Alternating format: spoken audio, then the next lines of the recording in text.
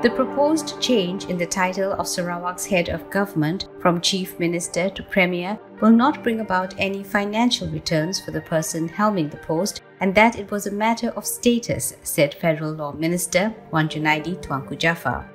Wan Junaidi told FMT the premier title was not completely foreign, pointing out that the leaders of state governments in Australia were also called by the same name. He said whatever the Sarawak government deemed was right to do, including the decision on the change of title, should be no issue as long as it could be passed in the State Assembly. He maintained that this was not just a cosmetic change, as it involved the status of the people of Sarawak. The change in title will be made in a constitutional amendment that will be tabled at the State Assembly today.